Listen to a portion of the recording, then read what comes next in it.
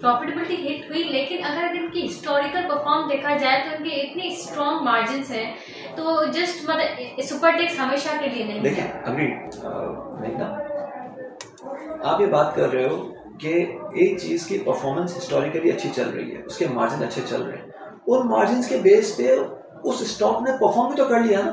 हाँ वो अब स्टॉक की परफॉर्मेंस मैं आपको एक मिसाल देता हूँ कि आपको याद है एक आई डोंट नो कि आप उस टाइम पे यहाँ पे थे क्या नहीं है। थे नहीं नहीं थे। लेकिन एक साल पहले एग्जैक्टली एक साल पहले टीआरजी की बात हो रही थी कि ढाई सौ रुपये में बाय बैक अनाउंस होगा इसका। हाँ।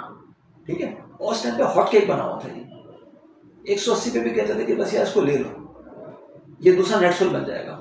नेटसोल हम्म। के बारे में कहते थे कि दूसरा सिस्टम लिमिटेड बन जाएगा। ऐसे था ठीक है? और एक एवेंसियन के बारे में कहते थे कि दूसरा टीआरजी बन जाएगा। क्या हुआ एक साल के बाद?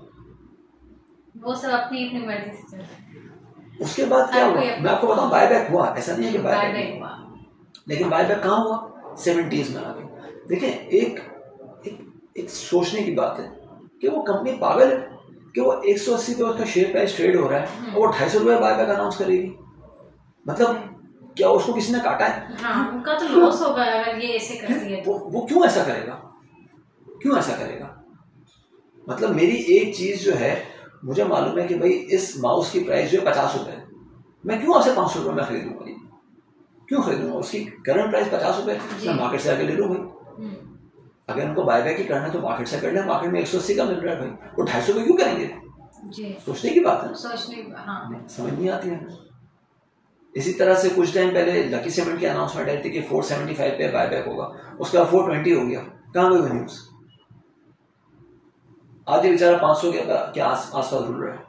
फिर फिर बात ये आती है कि नहीं वो सीमेंट सेक्टर में मसले आ गए तो ये हो गया। तो ये रीजंस फिर फिर आपको रीजन मिलते रहते हैं। तो हमेशा आप कोशिश ये करें कि जब आपको कोई न्यूज़ क्लिपिंग मिले कोई न्यूज़ आइटम मिले जस्ट सी कि मेरा कॉमन सेंस उसको एक्सेप्ट कर रहा है कि नहीं कर रहा।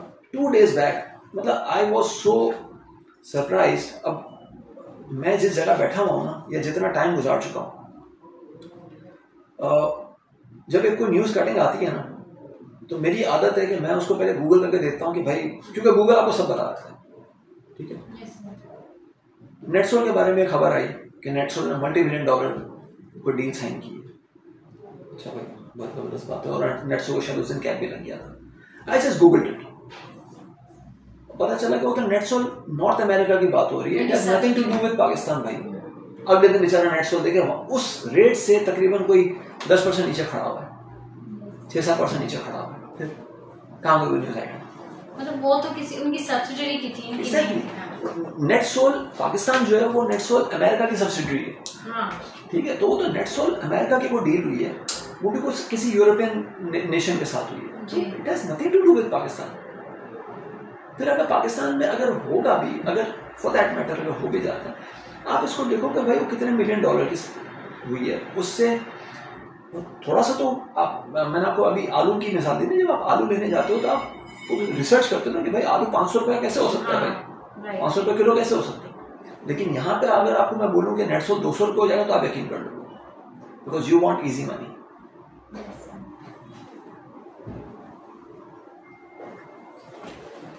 और सर इस वक्त मतलब जैसे आपने बताया कि आप मार्केट को रिवर्स में ही देखते हैं आगे तो आप मत, आपको मतलब क्या लगता है कि अभी कौन से सेक्टर हैं या कौन से ऐसे स्टॉक्स हैं? कुछ ऐसे स्टॉक्स के नाम बताएँ इन्वेस्टर्स को जिनमें मतलब आपको लगता है कि वो आगे चल के भी अगर मार्केट नीचे भी जाती है तो वो अच्छा परफॉर्म करेगी और इस वक्त बाय करना चाहिए। जैसे आपने लास्ट इंटरव्यू में बताया था कि गुलैमत को बाय करना चाहिए और दूसरी कंपनी बताई थी देखिए मेरी रीडिंग के हिसाब से कुछ दो तीन हैं आइटम्स लेकिन अगेन उनमें दिल ज़रूरी है। If E P C L comes at sixty four range तो आप उसको कर सकते हो। लेकिन to do that you need to keep a stop loss देखिए स्टॉप लॉस का भी uh, बहुत स्ट्रॉन्ग कॉन्सेप्ट है जो कि लोग उसमें यकीन नहीं करते। स्पेशली वो हजरात जो ये कह रहे होते हैं कि हम तो लॉन्ग टर्म काम करने वाले हैं। वो बिल्कुल ही यकीन नहीं करते। एंग्रो फर्टिलाइज़र आज से तीन महीने पहले सौ रुपए के आसपास ट्रेड कर रहा था। आज एंग्रो फर्टिलाइज़र अस्सी रुपए पे तीन महीने में एक स्टॉक अपनी ट्वेंटी परसेंट इक्विटी को वाइप आउट कर देता है। ठीक है? जब आप स्टडी करते हो ना तो पता ही चलता है कि इंटरनेशनली थम रूल है।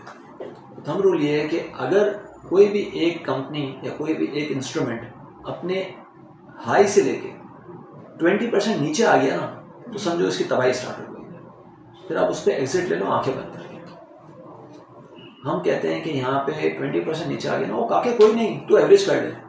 तेरा नंबर आ जाएगा। वो नंबर नहीं आता कभी। ठीक। तो stop loss is a must और जब तक आप स्टॉप लॉस नहीं लगाते ना आपका लॉस कभी भी स्टॉप नहीं होता। I know many people who have bought shares like मैं अगेन किसी ट्रेडिंग वाले स्टॉक की बात नहीं कर रहा मैं stock like Engro F F C EFERT E P C L ऐसे ऐसे रेट के लोग लेके बैठे हैं कि जब आप देखते हो ना तो कहते हो कि भाई ये तुमने क्या किया है?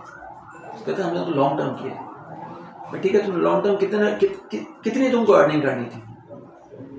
हम्म। कितनी अर्निंग करनी थी? देखें एक एक बेसिक प्रिंसिपल है। आपकी रेंटल इनकम क्या पाकिस्तान में? सात से आठ परसेंट हम्म। आप एक अपार्टमेंट लेके रेंट पे दो बंगला लेके रेंट पे दो प्लॉट लेके रेंट पे दो शॉप लेके रेंट पे दो सात से आठ परसेंट मैक्सिमम टेन परसेंट साल का। बैंक आपको कितना दे रहा है? वही तेरह चौदह परसेंट पंद्रह परसेंट मैक्सिमम म्यूचुअल फंड कितना दे रहा है? पंद्रह सोलह परसेंट। हम्म। तो ये आपका बेस लाइन है ना? जी। आपको सेविंग सर्टिफिकेट कितना दे रहे हैं? सोलह सत्रह परसेंट। हम्म। आजकल शायद रेट बढ़ गया है। ये मार्केट अगर आपको पच्चीस परसेंट साल का दे रही है या तीस परसेंट साल का दे रही है आपका पेट नहीं भरता। आप कहते हो मुझे तीस परसेंट रोज चाहिए। रोज नहीं हर मिनट चाहिए। हम्म। मैं मैं एफ़ फोर दबाऊं बाय का और मुझे अगले मिनट कैच चाहिए। ये नहीं हो सकता। You are living in a fool's paradise आपका मार्केट का रियलिस्टिक गेन जो है ना it's not more than twenty five percent I can bet on it क्योंकि जो इस तरह कमा भी रहा है ना वो एमेचुरली यूज़ करके निकलता है। तो अगर किसी ने पैसा बनाया है ना हम्म। किसी ने अकल लगा के पैसा बनाया है तो it's not more than twenty five या थर्टी परसेंट चाहे वो डिविडेंड इनकम पे ले लें या कैपिटल गेन पे ले लें। इससे ज़्यादा है नहीं। इससे ज़्यादा आपको मिल भी जाता है ना तो आप शुक्राने का नफिल पढ़ो और एग्जिट लो। जीत उसके जो एग्जिट ले रहा है।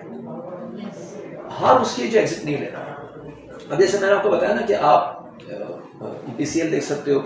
अगर ये सिक्सटी फोर के आसपास है नॉट यहाँ पे आप लोग इट विल बी वो कहते हैं ना, गर्म आलू है। इसको नहीं खाना मुँह जल जाएगा।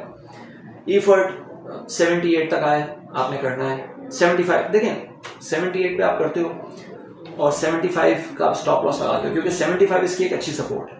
वो टूटता है ना तो फिर ये फिर ये इसका स्लिप इसका स्लिपेज जो है ना वो शायद रुकेगा नहीं इतना easily if it if it fails to hold sixty तो फिर इसका शायद मिड थर्टीज में भी कहीं आप रेट देख सकते हो। बहुत मुश्किल हो जाएगा इसको होल्ड करना। ठीक है? Just like it happened in TRG जब इसने 115 का लेवल तोड़ा था। मैंने बहुत लोगों को हाथ जोड़ जोड़ के मैंने कहा था कि भाई जहन में रख लो 115 का लेवल टूटेगा ना आपके जहन में भी नहीं होगा कि आपने वो रेट कभी देखा होगा। और बहुत सारे लोग हैं जिन्होंने टी आर जी सत्तर रुपए कभी देखा ही नहीं था। हम्म। तो देखे ना यार हम तो परेशान हो गए सत्तर रुपये रेट तो ढाई सौ रुपये बाय बैक हो रहा था भाई। जी। तो stop loss is a must